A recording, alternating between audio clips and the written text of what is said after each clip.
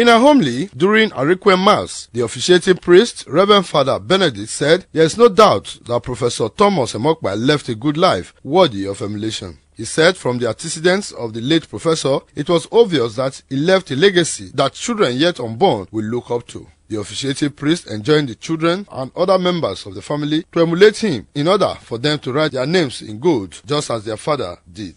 We are honoring a man who lived his life not just for himself, but for others, mentoring, inspiring, and making sure that future generations will follow the right path. The event shifted to the social dance where guests were treated to varieties of food and drinks. The children with different groups that came to felicitate with them took to the dance floor.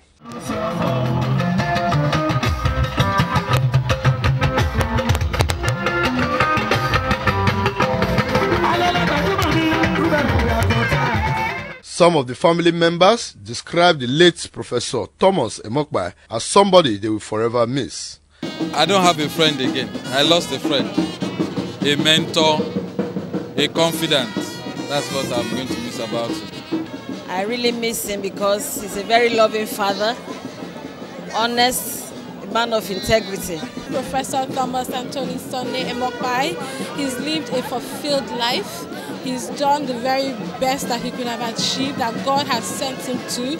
He's a prosperous man, and he has left many, many who will forever love him and who will forever fulfill his legacy in Jesus' name. Some of the close associates of late Professor Anthony Mokpa, who include the Honorary Romania Consul to Edo and Delta States of Nigeria and the Esama of Benin, Sir Chief Dr. Gabriel Sauri Benedion said he was a man that can be relied upon anytime, any day. Close friend, early friend, himself and we all grow together in Ibadan. Very painful. We are getting fewer and fewer. A sad event. But anyway, God, God will accept his soul in Jesus' name. He has brought up many people, supervised doctorate degrees, you know, for other people. He was a very, very loyal friend. So we have missed somebody. It's a very big vacuum. He was a great man. We grew up together here. That is why I said I must come and pay my last respect.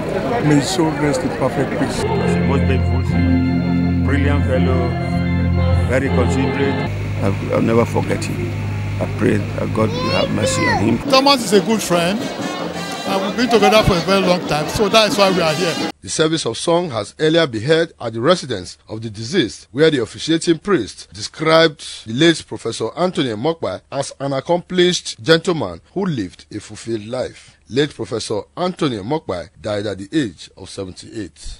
Efosa Wangwe reporting.